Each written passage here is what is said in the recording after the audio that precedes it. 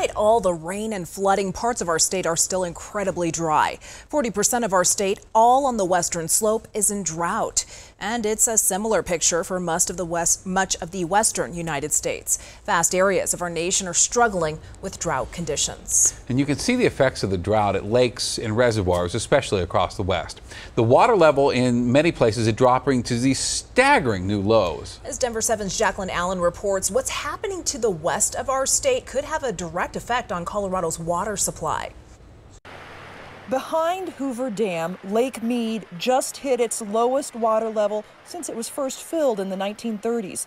Upriver, behind Glen Canyon Dam, Lake Powell has also reached record setting low levels.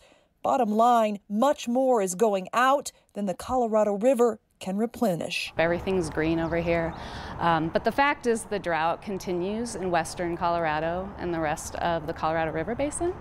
Um, and we do need to pay attention to that. Kalsum Abbasi tracks the water supply for utilities in Colorado. The drought map shows good conditions here, but just over the mountains, the drought supply is extreme. And while Lakes Mead and Powell supply water to Nevada, Arizona, and California, the water originates right here in Colorado. The Colorado River Basin is the supply source of supply for half of our water. And so what happens over there absolutely does impact this community. Water rights offer some protection, but are only valid when there's no crisis in supply.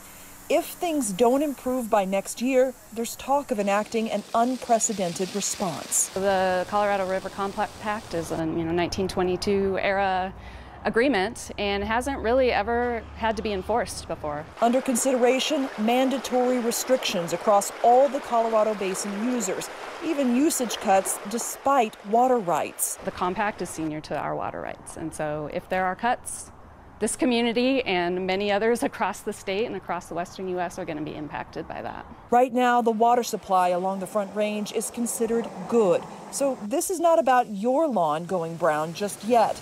These warnings are about awareness for the years ahead. If drought continues on the western slope, much of our water will have to flow that direction, making our water supply even more vulnerable. I'm Jaclyn Allen, Denver 7. For perspective on this low water supply, three Colorado River Basin reservoirs will be partly drained to make sure Utah's Lake Powell keeps producing hydroelectric power. The lake's popular boat ramp closed this week because the water was so low, and in this picture, you can see, do you see the rings there? That's where the water line should be.